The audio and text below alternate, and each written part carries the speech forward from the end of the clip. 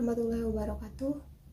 Izin memperkenalkan diri, nama saya Fadila Kurniasari dengan NPM 2014071021. Dari jurusan Teknik Pertanian, Fakultas Pertanian Universitas Lampung. Di sini saya akan menjelaskan tentang sistem pelumasan. Selamat menyaksikan.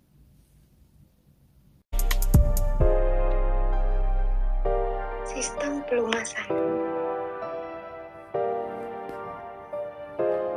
Pengertian dari sistem pelumasan.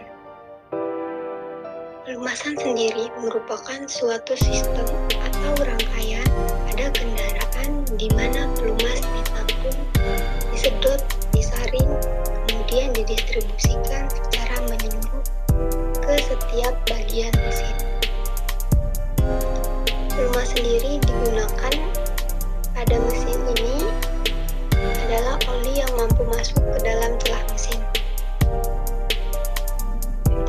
Oli yang melapisi celah-celah mesin dinamakan oil film. Lapisan ini menempel sangat kuat pada komponen mesin dan sulit dilepaskan. Hal ini yang membuat setiap kali komponen mesin yang mayoritasnya terbuat dari logam bergesekan, lapisan tersebut dapat menjadi penghalang terjadinya gesekan langsung.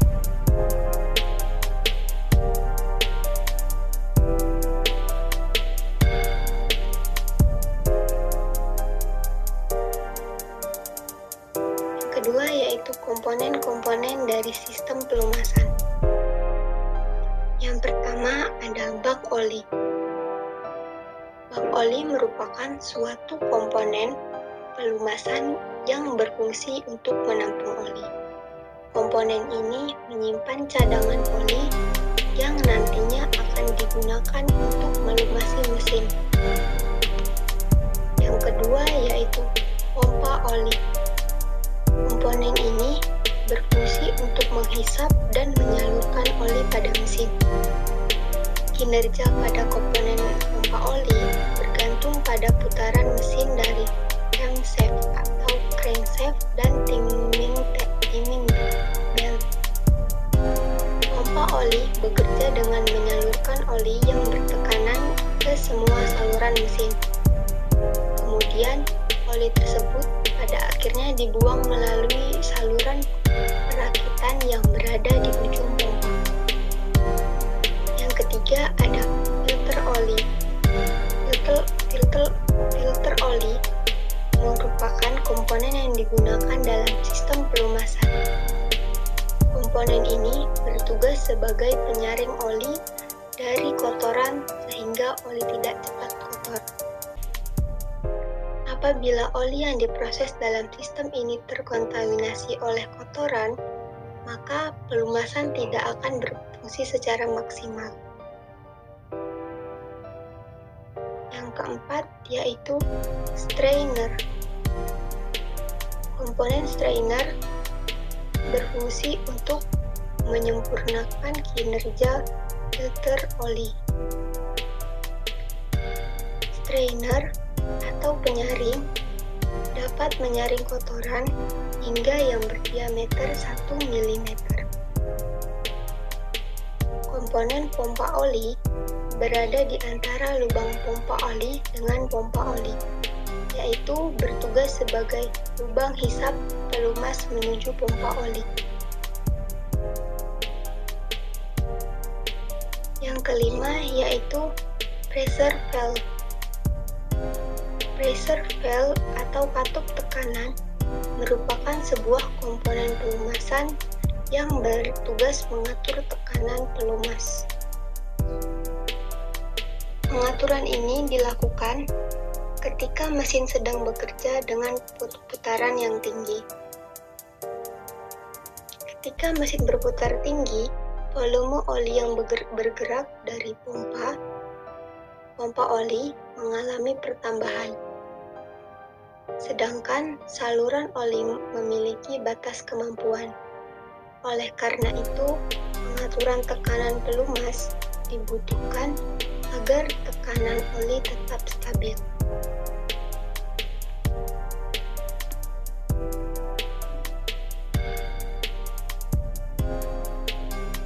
Selanjutnya yaitu switch oli. Switch oli merupakan sensor tekanan oli yang berfungsi untuk mengetahui hasil kerja dari pompa oli. Komponen ini bertugas memberitahukan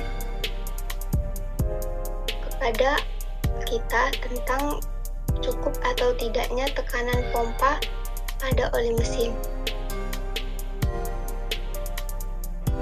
Selain itu, switch oli juga dapat memberitahu tentang memutar kunci kontak pada posisi on. Pada posisi on, lampu indikator oli akan menyala dan pada saat posisi off, komponen switch berfungsi dengan baik atau off. Yang selanjutnya yaitu oil gallery. Oil gallery sendiri merupakan saluran pelumasan yang berfungsi sebagai jalan oli atau pelumas pada mesin. Komponen ini berupa lubang pada blok mesin yang akan dilumasi. Lubang ini akan mengantar pelumas pada perangkat yang harus mendapatkan pelumas. Selanjutnya yaitu oil jet.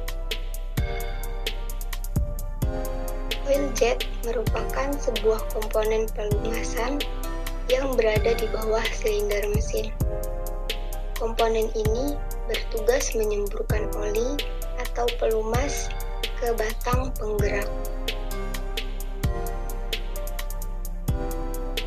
Dan komponen yang terakhir yaitu PCV valve.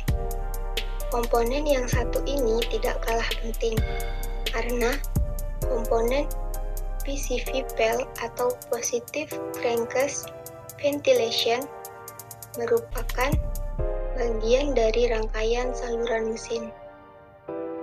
Komponen ini berupa saluran ventilasi udara yang dapat yang terdapat pada ruang engkol mesin.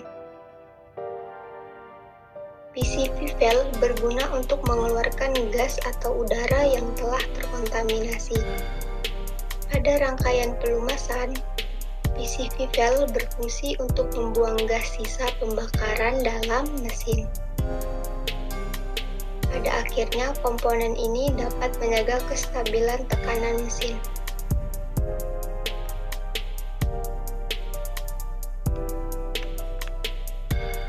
Selanjutnya yaitu fungsi sistem pelumasan. Yang pertama, menjadi pelumas. Fungsi utama pelumas yaitu menjadi pelumas untuk mencegah kehausan berlebih ketika saling bersinggungan satu sama lain. Yang kedua, menjadi pendingin. Mengapa menjadi pendingin? Karena ketika dua komponen yang saling bergesekan, maka, tercipt, maka terciptalah suhu yang panas. Nah, fungsi dari menjadi pendingin yaitu untuk menyerap panas agar tidak terjadi overheat. Yang ketiga, menjadi pra perapat. Fungsi menjadi perapat yaitu kemampuan pelumas yang bisa melumasi bagian-bagian presisi dalam mesin sehingga mencegah terjadinya kebocoran gas. Yang keempat menjadi pembersih. Pelumas yang mengalir akan membawa kotoran besi ke dalam bagian karter atau penampung oli. Yang kelima, mencegah karat, memberikan perlindungan terhadap permukaan sisi luar.